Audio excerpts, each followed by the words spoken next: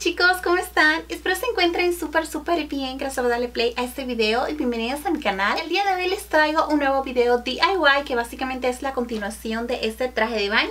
El día de hoy les estaré haciendo lo que es la parte de abajo o la panty, que la verdad está súper fácil de hacer, así que espero que les guste. Antes de pasarla con el video, primero quiero mandar un saludito a Sandy Toledo, un besote hermosa, muchas, muchas gracias por tu apoyo, por dejarme tus comentarios, por mis videos. De verdad que te lo agradezco mucho. Te mando miles de bendiciones. Y nada chicas y chicos, si quieren ver cómo hice este traje de baño, pues solamente sigan viendo el video de la parte de arriba o del top, se lo estaré dejando abajo en la caja de información.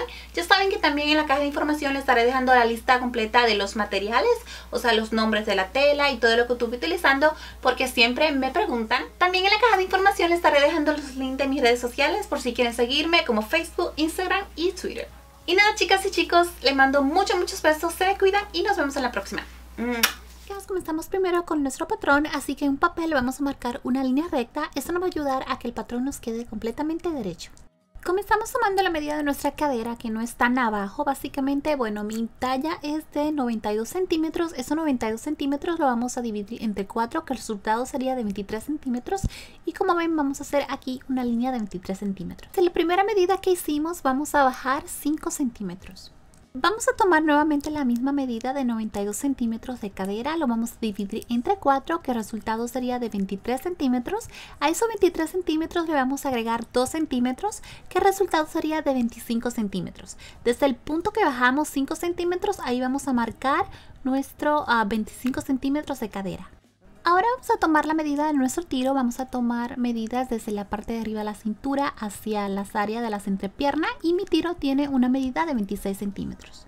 Para el ancho que va a tener mi entrepierna le he dejado una medida de 4 centímetros que he abierto, el patrón sería de 8 incluyendo los márgenes de costura. Ahora simplemente vamos a pasar a unir en la parte de arriba de la cadera, vamos a unir de esta manera con una anilla en diagonal. Luego desde la cadera hacia la entrepierna vamos a marcar con una línea curva y vamos a hacer el mismo procedimiento para el trasero pero sin marcar tanto las entrepiernas. Ahora vamos a pasar a cortar nuestros patrones en telas, así que ya tengo mis patrones, como ven lo estoy colocando de esta manera en el doblez de la tela, lo vamos a colocar, lo sujeto con alfileres para que no se mueva y lo vamos a estar recortando a un centímetro para las costuras. Recuerden que las medidas que les estoy mostrando en este video son mis medidas. Recuerden que tienen que hacerlo con sus medidas para que les pueda quedar bien. Este panty básicamente no es tan llamativo o tan revelador. Es un poquito más serio, más grandecito para esas chicas que no les gusta mostrar tanto.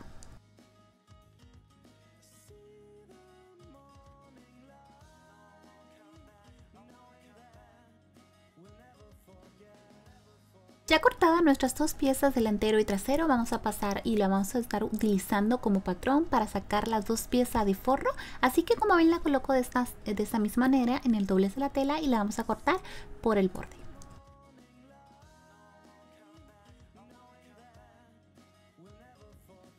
Ya cortadas nuestras piezas, así nos tiene que quedar el delantero y trasero. Ahora lo que vamos a hacer es unir nuestras piezas. Vamos a tomar la pieza de forro, la vamos a unir de esta manera y vamos a pasar a coser lo que son los costados y entrepiernas.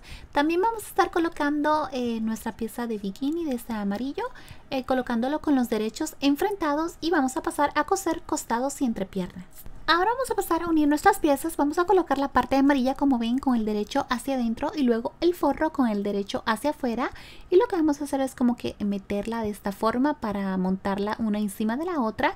Vamos a tratar de que las costuras nos queden bien sentadas una encima de la otra, lo que son las costuras de las entrepiernas y los costados. Sujetamos con alfileres por todo el borde y vamos a pasar una costura. Ya unidas nuestras piezas, así se ve este, la parte del forro, así se ve por dentro. La, verdad que bastante limpia la costura y así se ve por fuera. Ahora lo que vamos a pasar a hacer es colocar la goma elástica. Voy a estar eh, colocando la goma elástica en lo que es la parte de la cintura y las entrepiernas. Ahora sí vamos a pasar a engomar nuestra panty y bueno voy a colocar el elástico así por el borde, lo voy a estar cosiendo con una costura ah, de zigzag del número 5 estirando mi elástico un poco.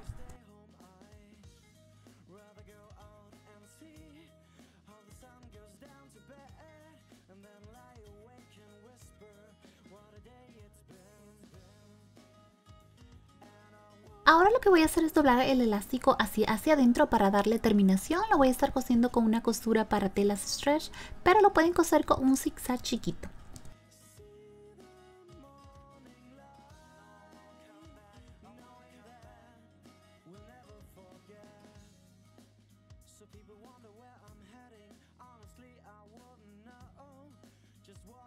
Ya mi panty está listo, solamente me falta colocarle lo que es la decoración y bueno, le voy a estar colocando la misma que le coloqué al top, así que bueno, lo voy a colocar en el maniquí para que se haga mucho más fácil poderla colocar y como les dije ya, estas piedras vienen con un pegamento incluido.